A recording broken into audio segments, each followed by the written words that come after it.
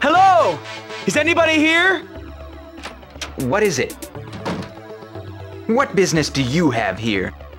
You've got some nerve asking us that when you're hiding behind a mask, Senor del Fancy Pantalones. Well, I, I just... We've come on business of the king. On that authority, I ask you to remove the mask. I, I'm sorry, I cannot.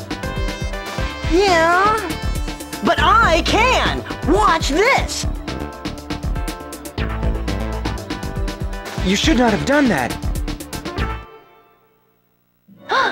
His appearance is exactly like Minister Schneider. You're the one that destroyed the dam and framed us. I. I'm sorry. I didn't know what I was a part of. I was hired to do a job, that's all. By whom? A mercenary called Wolfgang. Wolfgang? The leader of the Granzenstrom mercenaries? How do you know that? Yes, I am a mercenary as well. I have not met him personally, but his reputation is that of a strong, smart warrior. If he hatched the plan to frame us and Minister Schneider in one stroke, I would say he's very dangerous. So Wolfgang was behind all of this? That appears to be the case. However, we will only be sure by interrogating this man. I therefore arrest you on suspicion of destroying the dam at Agris. No! I shall make arrangements to place him under guard. Thank you, Charlone. This is the end of your quest, isn't it, Riviera? Not just yet. I won't be satisfied until I see justice done to this criminal called Wolfgang. I'll stay with you until he is in captivity or dead.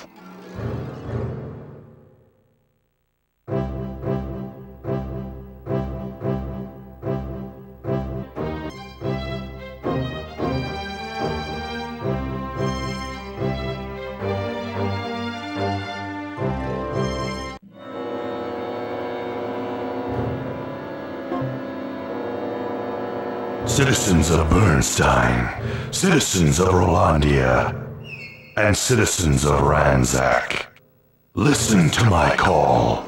I am Wolfgang, leader of the Granzenstrom. In the past, once your battles have ended and you have no use for mercenaries, you have cast us aside, detested us. Now I declare the lost forest south of Grandshill the kingdom of the Granzenstrom, land of the mercenaries. Those that resist our kingdom will soon regret the folly of their actions. Mercenaries and those cast off from cruel society, gather your strength under the flag of Granzenstrom!